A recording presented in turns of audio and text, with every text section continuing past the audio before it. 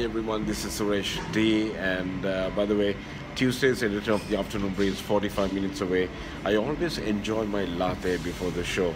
Uh, that's how I treat myself every single day. That's all I do. And uh, a little bit of cooking in the evening, which I love doing. And um, by the way, I'm sure you're having a wonderful Tuesday. Get ready for the uh, Tuesday's edition of the Afternoon Breeze and uh, for the best mix of music on Sri Lanka's number one Gold FM. And uh, by the way, don't forget to subscribe Gold FM on YouTube, which is youtube.com forward slash Gold FM. I'm not at my usual spot today, but I'm uh, in a different spot. Uh, which is uh, which is a beautiful place. I'm not going to be talking about the place because if I do, I'm uh, pretty much indirectly, uh, you know, promoting the place. So I'm not going to do that.